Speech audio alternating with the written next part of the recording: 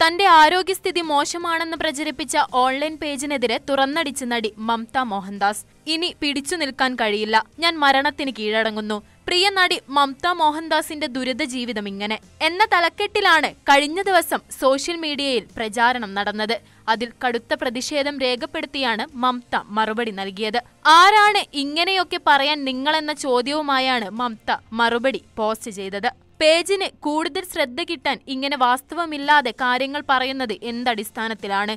ഇങ്ങനെയുള്ള പേജുകൾ ഫോളോ ചെയ്യരുതെന്ന മുന്നറിയിപ്പും മമത നൽകുന്നുണ്ട്. പുതിയ ചിത്രം ബാന്ദ്ര പുറത്തിറങ്ങാനിരിക്കെയാണ് താരത്തിന്റെ ആരോഗ്യസ്ഥിതിയെക്കുറിച്ച് മോശം കമന്റുകളുമായി ഒരു ഓൺലൈൻ പേജ് വാർത്ത നൽകിയത്. വളരെ ചെറിയ പ്രായത്തിലെ ബാധിച്ച അർബുദത്തെ ചെറുത്തു തോൽപ്പിച്ച മമത പ്രചോദനാത്മകമായ ജീവിതമാണ് നയിക്കുന്നത്.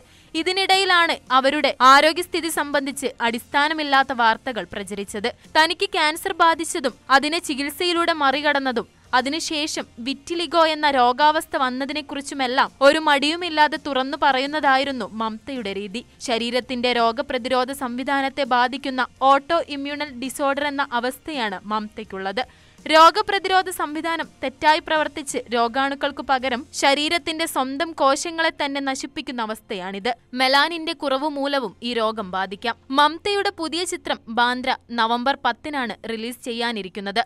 ദിലീപാണ് നായകൻ. തമന്ന ചിത്രത്തിൽ പ്രധാന വേഷത്തിൽ എത്തുന്നുണ്ട്. അരുൺ ഗോപിയാണ് ചിത്രം സംവിധാനം ചെയ്തിരിക്കുന്നത്.